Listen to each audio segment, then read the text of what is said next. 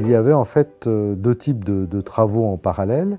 Il y avait d'abord le, démarrage des creusements sur le carreau de fonçage proprement dit des puits d'accès. C'était par des méthodes assez euh, rudimentaires hein, de travaux publics avec des, pelleteuses. Et parallèlement, euh, début 2000, on a réalisé ici un certain nombre de forages scientifiques directement sur la plateforme et qui servaient principalement à suivre les effets du creusement à une certaine distance des puits. Quand on a atteint euh, la couche d'argilite, euh, là ça a été quand même un, grand soulagement d'atteindre la couche et on a pu creuser la niche et on a pu réaliser la première galerie expérimentale dans la niche à 445 mètres.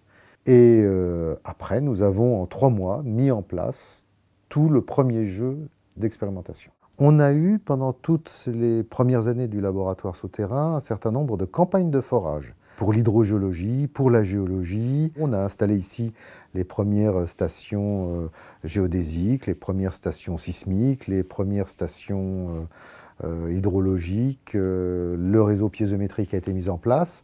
On a mis en place en fait les, les précurseurs de tous les réseaux que l'on a aujourd'hui. Et ça, ça a été fait dans les années 99 euh, euh, à 2002, 2003, 2004. La deuxième grande activité, ça a été la préparation des expérimentations.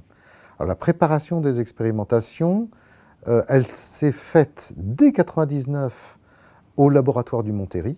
Toutes les expérimentations qu'on a réalisées dans la niche à 445 mètres, on les avait déjà testées, montées, complètement analysées au point de vue à la fois scientifique et technique, au laboratoire du Montéry.